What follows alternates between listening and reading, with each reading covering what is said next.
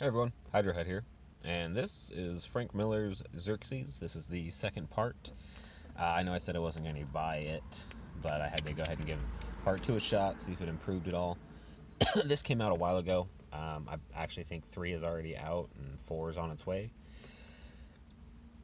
I just now got around to reading it because I really wasn't excited for it in the least. And unfortunately, my feelings really haven't changed. Um, I will say the. Um, the writing felt better, but it still felt like it was just ripping itself off with 300. The uh, pacing of the narration is like identical to 300 and how the narrator narrated that story. The uh, art is just atrocious. Um, so, like, Ronin is one of my favorite Frank Miller stories, and the art in that is unique. And you can say the same about this, except unique in a very bad way. And our main guys that we're following, they're Athenian, but they're drawn very, very, very similar to the Persians, which kind of annoys me. Um, oh, that's a frog. And I do like some of the the background styling he chose on the art. It kind of, I think what he was going for is that classic Greek um, like before the Renaissance style art, where everything was very kind of sketchy, but you could still tell what it was. Um, and if he was, then yeah, he, he nailed that. I just, it's hard to look at, and I don't want to pay money for it, especially when you're paying four ninety nine for Frank Miller, and it's fucking rubbish. And like, look at this, this owl. That is the most awkward yeah. Just yeah. And this nice overhead shot of the city with our awkward owl and just not pleased in the slightest with his art. Some of the writing is funny though, like the narration and stuff like that. Um, generally, genuinely made me laugh. This dude here uh, came running up with a message and then just died right in front of this dick-nosed uh, Druish chap.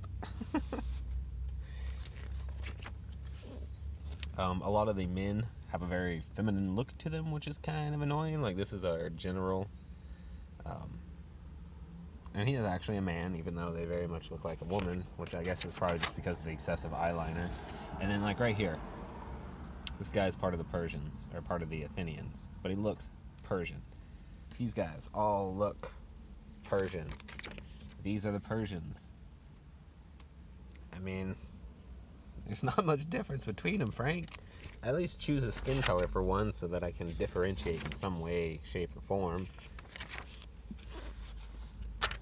Uh, basically, what happens in this fight, though, is our Athenians return home. Yeah, what a. Oh, sorry.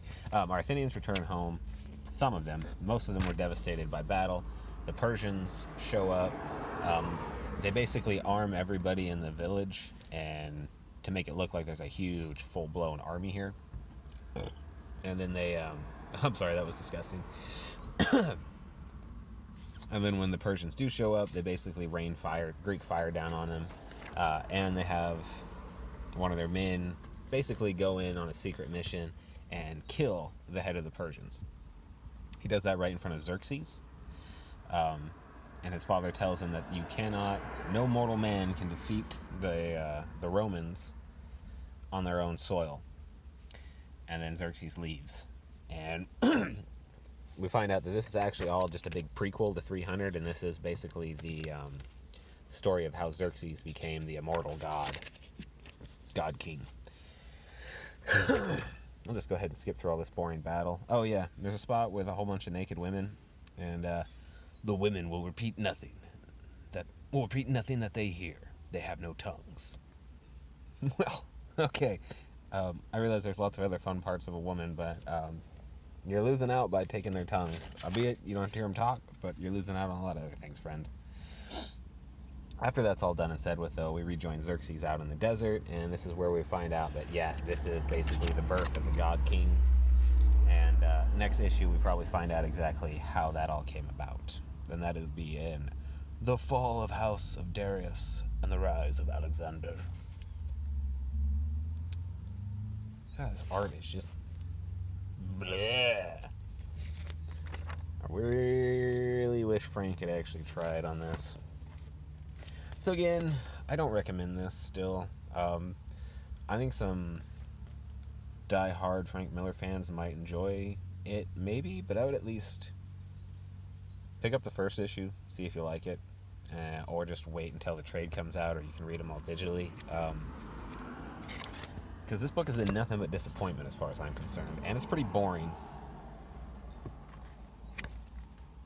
And it really doesn't give me high hopes for the uh, the drivel that Frank and and the PC crew is going to be pumping out for DC's ulterior brand.